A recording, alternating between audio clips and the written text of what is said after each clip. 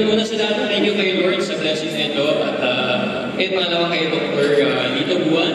Maraming maraming salamat po sa lahat ng nabuo ng itong Parangal 2022. Uh, of course, salamat din sa aking mga supporters, sa mga patuloy na naniniwala at uh, sumusuporta sa akin bilang isang aktor isang uh, visual artist. Maraming maraming salamat po. Magandang gabi po.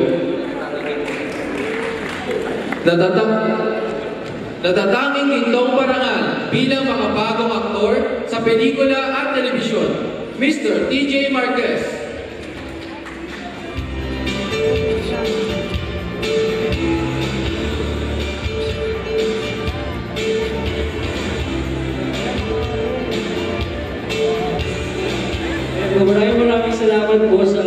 Parangal para sa pagkilala.